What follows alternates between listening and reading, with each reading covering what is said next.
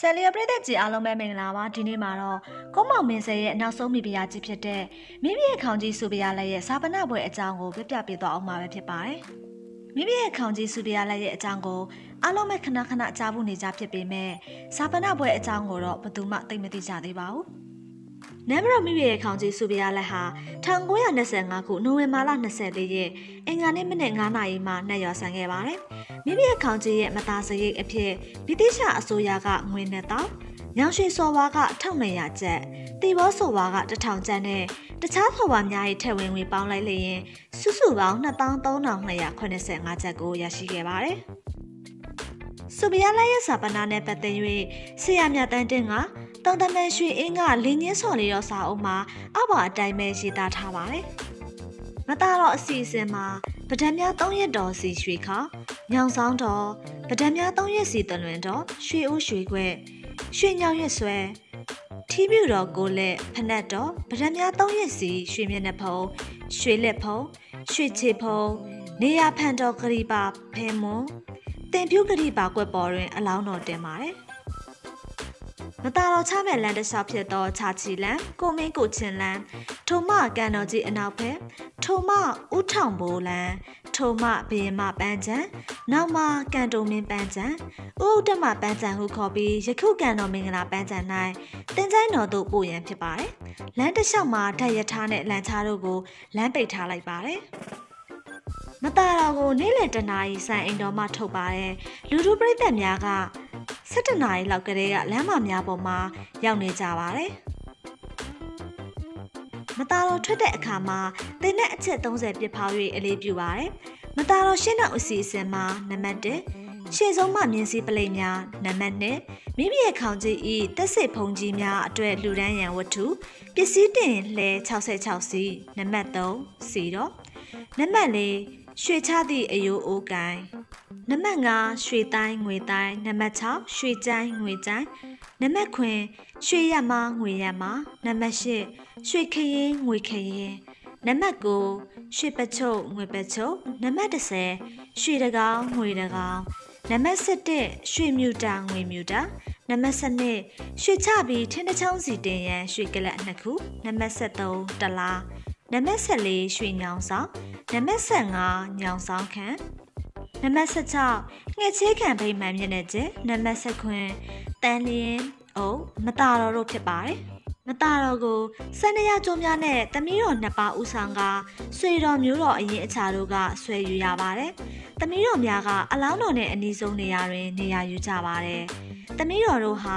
ဘေးမှရွှေထီမိုးပြီးလိုက်ကြပါတယ်။အလောင်းတော်ကိုမူထီးပြူရှစ်လက်မူထားပါတယ်။ အလောင်းတော်ကိုဆွေတော်မျိုးတော်ဆက်ချယောက်တို့ကထမ်းပြီးတော့ချရပါတယ်။၎င်းတို့ဘေးမှာ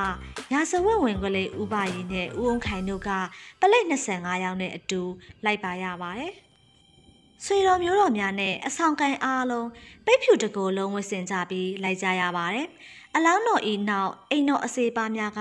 မိမိရဲ့ခေါင်းကြီးဤပစ္စည်းများကိုကင်ဆောင်၍လိုက်ကြပါတယ်။ထို့နောက်မှမသားတော်ကော်မတီဝင်များထို့နောက် မသားတော်ပို့ဆောင်သူများထို့နောက်မှတီးမှုတ်သူများကလိုက်ပါကြရပါတယ်။ဘရင်မပန်းစံကိုရောက်တဲ့အခါမှာတော့စောင့်ဆိုင်နေကြတဲ့မြမပြည်ဘရင်ကန်နဲ့အချွေအရံများညောင်ရှိစော်ပါကြီးပွဲစားကြီးဥပိုးတာစသူတို့ကစီကြိုကြပါတယ်ပန်းချံတို့ရောက်တဲ့အခါမှာတော့အိန္ဒိယစက်တပ်ကအမြောက်ပြစ်ဖောက်ရန်အလေးပြုပါတယ်။ယုကလတ်ကိုလောင်တိုက်သုံးပတ်ရစ်ပတ်ပြီးတန်ကအပါ90နဲ့တရဏဂုံတင်ခဲ့ပါတယ်။ ယုတ်ကလတ်ကိုတရဏဂုံတင်ပြီးနောက်မှာတော့ယုတ်ကလတ်ကိုမီးတကြုံဟန်ပြုပြီးအုတ်ကိုအတွင်းသို့တသွင်းလိုက်ပါတယ်။ဝမဆက်ဝင်တောင်းနေမင်းနဲ့မတာတော့ကော်မတီကရင်းမာနောက်ဆုံးတကြိုချင်းမဟုတ်ကြောင်းတည်ငါသဘောယာယီသဘောသားတာဖြစ်ကြောင်းထုတ်ပေါ်ပြောဆိုကြပါတယ်။တီမောင်မင်းတရားကြီးပါတော်မူရဲ့နောက်မှာရန္နာဂီရီရှိတီဘောဆန်အိမ်ကြီးမှာအကျဉ်းဆန်ဘဝနဲ့နှစ်ပေါင်း32နှစ်၄လ12ရက်တိတိနေထိုင်ခဲ့ရပြီး 1288ခုနှစ်နက်ဒေါ်လာပြည်ကျော်6ရက်နေ့ညအချိန်တက်တော်59နှစ်မှာနက်ရွာဆန်ကံကုန်းတော်မူခဲ့ပါတယ်။တီယောမင်းတရားချင်းနဲ့ရွာဆန်တော်မူပြီးသုံးတဲ့အကြာ1282ခုနှစ်မှာဗြိတိရှအစိုးရမှအရှင်မိဘရဲ့ခေါင်းကြီးစုရလက်ကိုမြန်မာပြည်သို့ပြန်ခွင့်ပြုခဲ့ရာ 18ရက်ဧပြီ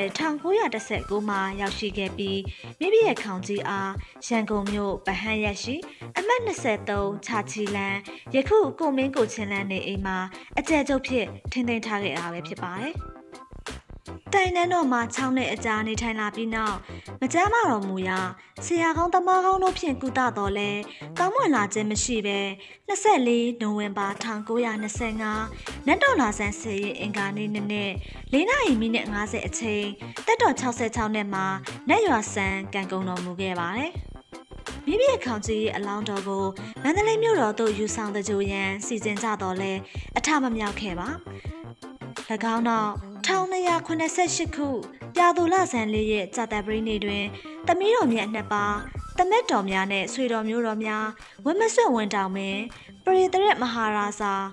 ညောင်ရွှေစော်ဝါကြီးတန်တော်စင်ဦးအော်ရောဖျားလူကြီးမင်းများဝက်လုံတော်ရမင်းများအဆရှိသောဝန်တာနုအသင်းသူအသင်းသားများမူဟောင်းမဟောင်းတို့မှမိမြေခေါင်ကြီးရဲ့ဇာပနာကိုစီစဉ်ဆောင်ရွက်၍ရွှေတကုံစီတီတော်တောင်မဲ့ခြေတော်ရင်ရှိကံတော်ပန်းချံမှာ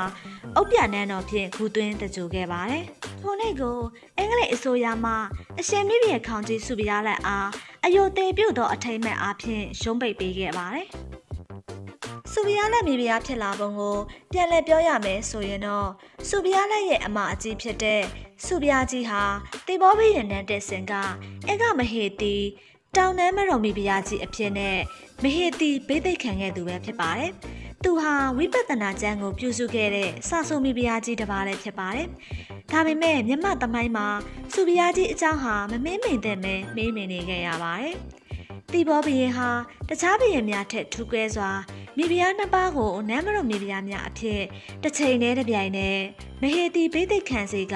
မိဖုရားမြောက်ခဲ့သူဖြစ်ပါတယ်။စုဘုရားကြီးကိုတောင်နမ်းမတော်အဖြစ်၎င်းစုဘုရားလက်ကိုမြောက်နမ်းမတော်အဖြစ်၎င်းထားကတပြိုင်တည်းတစ်ချိန်တည်းမဟေတီဘိသိက်ခံသပင်ဆင်ရင်ကျင်းပခဲ့တာပဲဖြစ်ပါတယ်။စုဘုရားကြီးကတော့မဲတော်စင်ဖြူမရှင်ကံတော်ကုံပြီးနောက်မှာ ဝင်စာလန်ရကုရှင်စောပူလန်ဆိုင်အင်တော်မှမင်းကွင်းသို့ပြောင်းရွှေ့၍တီလာရှင်ဘဝနဲ့1912ခုနှစ်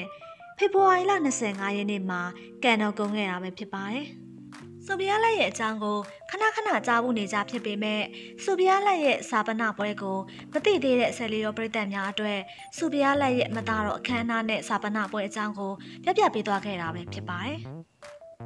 ဆယ်လီယိုပရိသတ်များအားလုံးကျမ်းမာရှင်တဲ့နေ့ရက်တွေကိုပိုင်ဆိုင်ကြပါစေလို့ဆယ်လီယို channel ကနေဆုတောင်းပေးလိုက်ပါတယ်။